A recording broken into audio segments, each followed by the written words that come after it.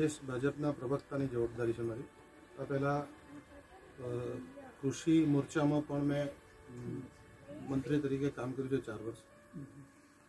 સાંપ્રત સમયની જે સમસ્યા છે, શું ખાવું એ?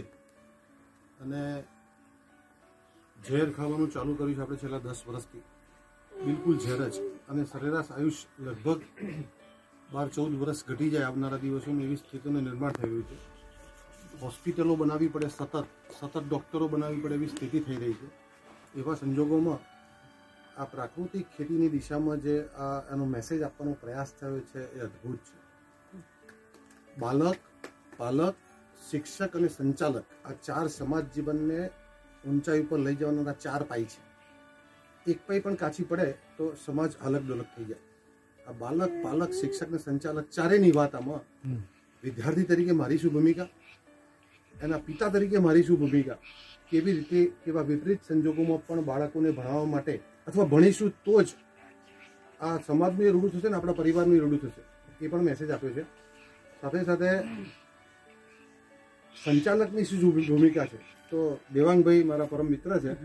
ટીવીમાં મારું રેગ્યુલર એમની સાથે અને વર્ષોથી સાથે કામ કર્યું એને વખતો વખત જે સૂઝબૂઝથી નિર્ણયો લઈ અને આખી ચેન તૂટી ના જાય અને કાંજી અટવાઈ ના જાય એની ચિંતા કરી છે. અને નરેશભાઈએ પણ એને એનું સાતત્ય જાળવી રાખી અને છેક એને ક્લાઇમેક્સ ઉપર લઈ આવ્યા છે.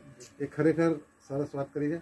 અને સંચાલક તરીકે સાહેબ કહેતા હતા ને કે હર્ષ- હર્ષભાઈને આ લેન્ડ ગ્રેબિંગ શબ્દ ના વાપર્યો એમને. પણ આ જે સમાજનું સૌથી મોટું દૂષણ છે અમે ટીવીમાં કહેતા હોઈએ છીએ કે ભારતીય જનતા પાર્ટીની સરકારે આ લોકોને સાહુકારોના હવાલે ના થવું પડે ને એટલા માટે ત્રણ લાખ રૂપિયાનું ધિરાણ મફત અમે ઝીરો ટકા વ્યાજે આપીએ છીએ અને અપાવીએ છીએ. આ વ્યવસ્થા આ સરકાર પણ એ દિશામાં જઈ રહી છે. અને આવનારા દિવસોમાં તમને વિનંતી કરું છું કે આ જે પ્રાકૃતિક પેદા કરે ને એ થોડું મોંઘું પણ ખરીદવાનો આગ્રહ રાખજો. એ તમારું સેવિંગ થશે. કારણ કે દવાખાનાનો ખર્ચો અને તમારી એવરેજ લાઈફ છે ને એ અને ઘણું બધું એમાં સુધારો આવી જશે. એટલે દસ પંદર વીસ પચીસ ટકા મોંઘું પડશે પણ સરવાળે પચાસ ટકા ફાયદો કરશે એવી વિનંતી સાથે પૂરી ટીમને હૃદયપૂર્વકના અભિનંદન આપું છું. અને અમે નક્કી કર્યું છે અહીંયા ટીવી ફિલ્મ જોતા સાહેબ. તમારી પણ હવે મદદમાં લઈશું. પણ મારી પાસે પચાસ એક હજાર નંબરનું એક ગ્રુપ છે મારું.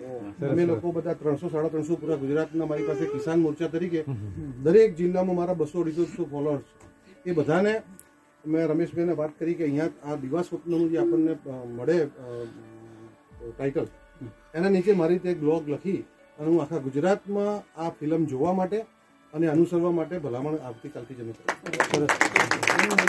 કડો લાડકોને લઈને